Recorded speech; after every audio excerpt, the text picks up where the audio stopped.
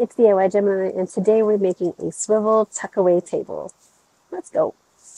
Okay guys, we are back outside and it's finally cool enough to be outside and woodworking again. So I'm really excited to get back to woodworking. Um, we are going to be making a swivel desk. So right now my room is pretty limited in space and you see me work on the like foldable table, which is fine. Um, but I wanted to be able to easily set things up and have a table ready and I don't have to like fumble with the legs and stuff and folding. I think I had a genius idea, so let's see if this works out. So let's get started. I'm also really excited to do this project because, like I said, I've worked on that lifetime table. I also work on it outside. I work on it in there for crafts as well. So now I have a dedicated work table. So I live in a smaller apartment in the city, so I don't have a lot of space for a full-on workbench. So my parents, for my birthday, got me this Bora table. So it comes with this collapsible legs that opens up like this, and you can use flat piece of plywood. You can also use anything you liked as a work surface. They actually got me a MDF board that comes with it. I'm super excited to use this. So thanks, Mom and Dad. Appreciate you.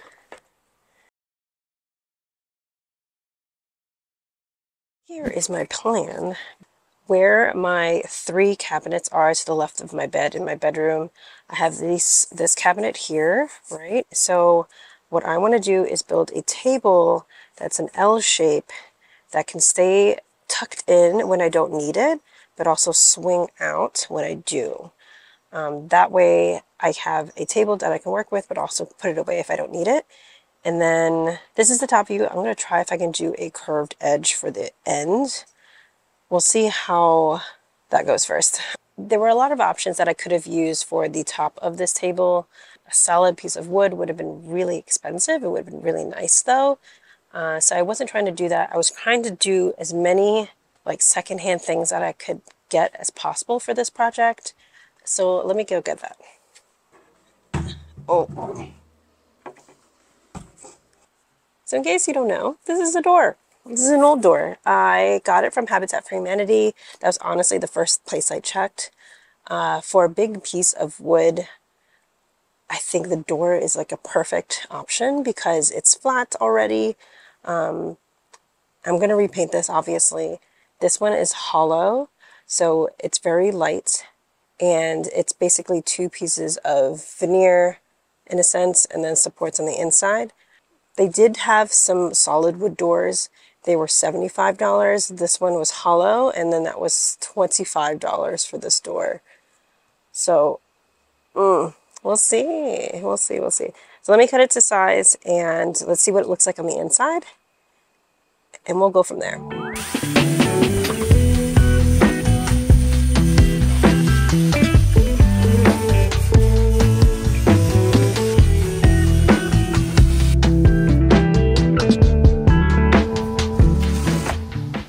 So anyways, we have our two pieces. We have the longer piece that's going on top of my cabinet. And then we have the shorter piece that's going to be going in an L formation on the end, like that. And that is going to be what's attaching to, like, going to be in contact with the floor. In case you want to see what the inside of a hollow door looks like, it is literally two pieces of veneer we have some wood framing on the ends. I cut off that one, but and then there's basically just cardboard to space the veneers out. You're probably asking, what am I using to do the swiveling action? So I wanted to keep this as simple as possible and also accessible as possible. Uh, I've seen a couple options of using like PVC pipe and piping to use that as the, is it the fulcrum? Wait, what is the actual like engineering physics term? Is it fulcrum? I don't know. The thing, and then there's this the axis. Yeah, that. Stay in school, kids. Okay, we, I could have done that, but I thought, why not use a lazy Susan? Right? Doesn't that make sense? Like, this thing this way, right? I got this one from Goodwill for $5.99. It's bamboo and I think it should work. Uh, I just have to trim it down to size because this is 13 inches wide. This is a little wider than that. Let's trim this down to size and then figure out how I'm going to make the rounded edge because I want to make it to match this somewhat on the end. So have it a little bit of design and not like just straight cuts.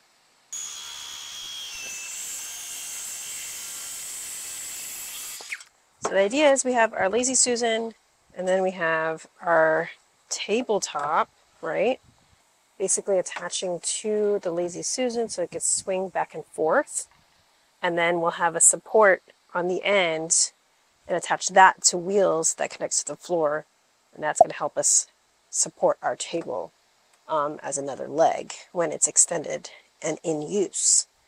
But what I want to do is make a curved aspect to this so it doesn't look so square, right? It adds a little bit of fun, a little bit of element, a little bit of design, um, and an inspiration of the roundness of the Lazy Susan.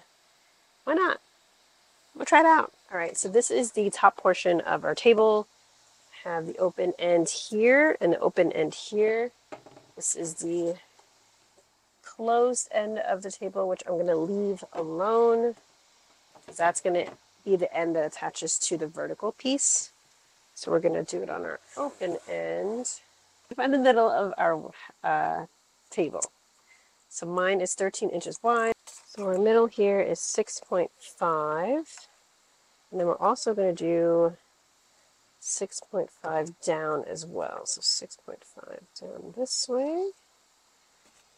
And I created a little template, right? So this is our pilot hole that was going to put our nail in, and that's what's going to attach to this. This is the center of our circle, or our semicircle in this case.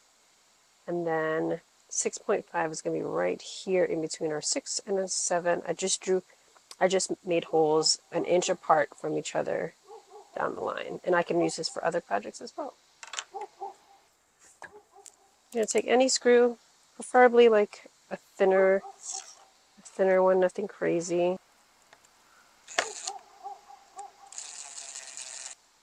All right, so see our six and a half. Twist the edge here as well. And we'll put our pencil in our six and a half mark. And draw a semicircle all the way around.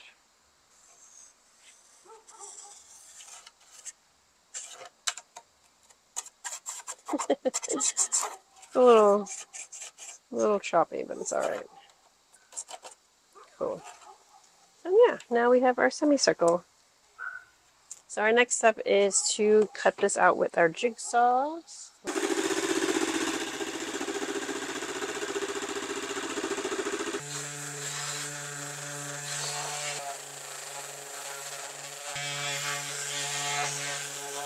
Since our door is hollow, I need to add some framing back into the door and find a way to close it up. To do so, I punched some of the cardboard and inserted some scrap wood to frame the long side of the open end and used some smaller scrap wood pieces for the curved edge. I used wood glue and my nail gun to put it all in place, and if you don't have a nail gun, clamps works just as well. To fill the rest of the gaps, we're going to use my trusty joint compound and sand it down. You can also use this foam spray to fill the gaps as well. Okay, so it is day two. It is still super hot. It is 95 degrees right now, so forgive me if I am crazy looking today. Um, so we are going to sand everything up, then paint it. I have some leftover satin paint that I had from a previous project, so I'm just going to use that. It's just like a warm white color, and um, let's get to it.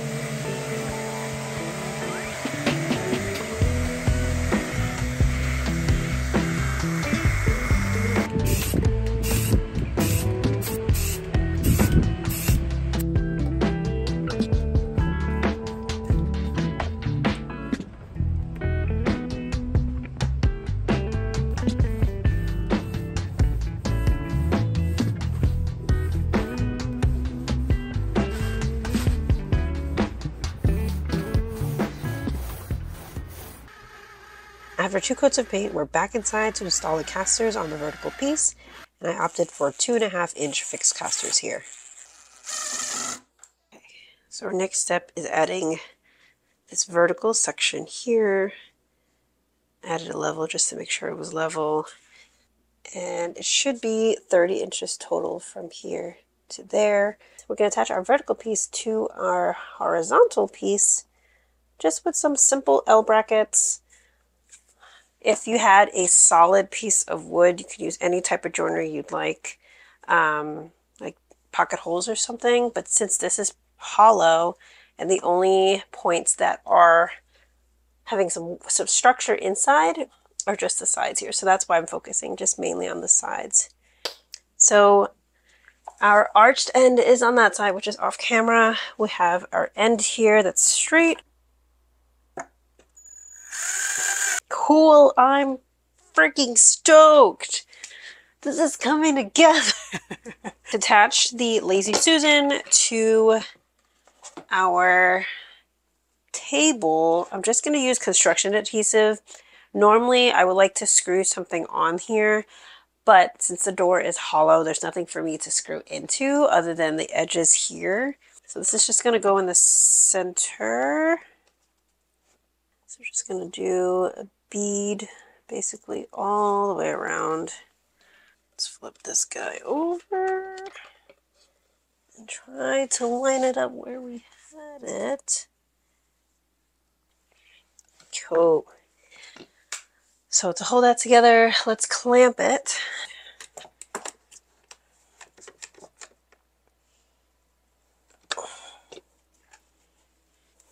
So this will take overnight to cure and fully harden. So we'll just leave it clamped as is and we will see you next on the next day.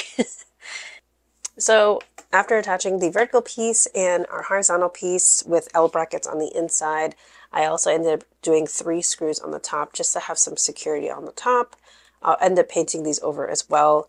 And then just to close this little gap, we're just going to use some caulking and paint over that. You know what's funny? I actually got inspired to make this table by watching the show that came out on Netflix, I think like a couple weeks ago.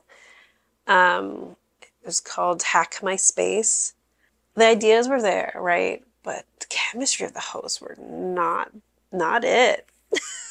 so I couldn't really get through that show, but it just like it just inspired me to be using my space in a lot smarter way. So I was going back and forth on how to attach the table to the cabinet and honestly, there were so many options. Like I could have screwed it from the bottom, I could have put bolts from the bottom and screwed it on that way. But this cabinet is an IKEA cabinet and this top it it's very, uh, it's also hollow, just like the door. In the inside is just cardboard. Um, so it's not going to be like a solid piece of wood where I can screw it and it's going to be properly mounted. I feel like if I were to screw it on through the cardboard, it's not going to really grab onto anything. So it's going to be eventually ripping out of my cabinet and I don't want to do that. But I actually found these mounting strips they say they're really strong, and I think this should hold since this table is so light anyways. I'm not going to be doing a lot of heavy duty work on this table.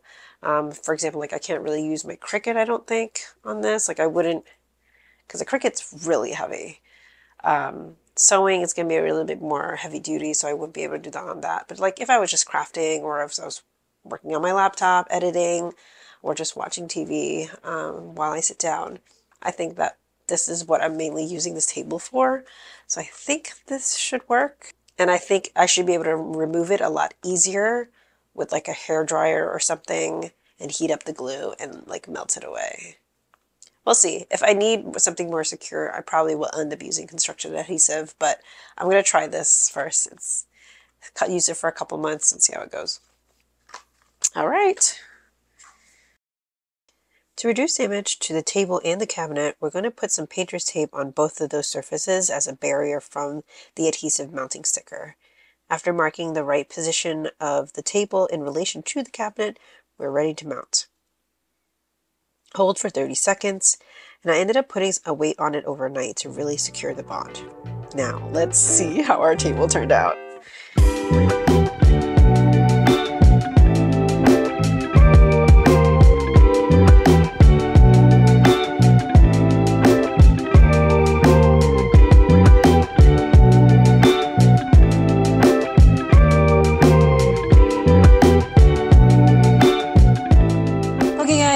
Done with our table and I'm really, really, really stoked on how it came out. It came out so nice and it's simple and easy to construct. I think there are a couple things I would have done differently.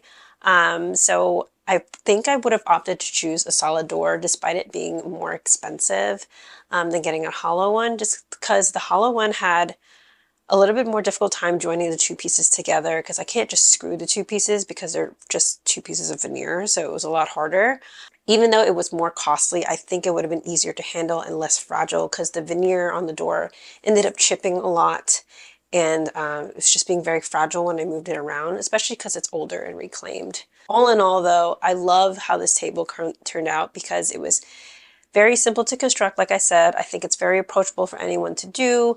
Any variations of this can be done to whatever shape or size and dimensions that you may need. I also love that it's very inconspicuous in my room. Like I can have it just hidden in the behind on the cabinets and you can't really tell that it's there. And it gives me more surface area to use and work with when I have the two sides together.